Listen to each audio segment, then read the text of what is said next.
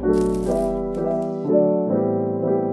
guys, this is Sal with Current Dealers. Uh, I uh, just wanted to go over real quick the three main types of electric vehicles that are out there.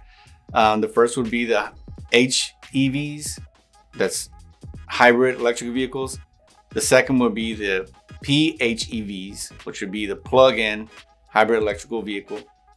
And the last would be the BEVs, which is full battery electric vehicle. So the first type, it runs half on mostly on gas, but also uses battery, but there's no plug-in option. So you can't charge it, it charges as it drives.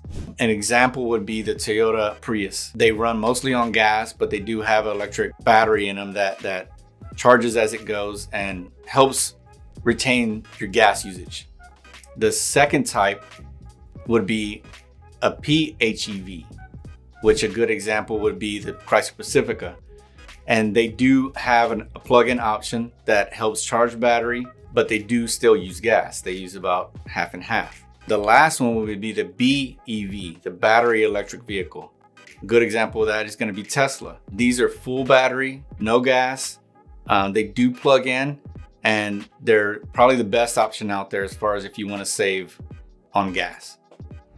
These are where the future is going. It's They're better because they're gonna reduce the carbon footprint and everybody knows it's better for the environment. So this is Sal with Current Dealers. Please hook us up on, on all of our social media. We are more than willing to answer any questions y'all got and we look forward to help y'all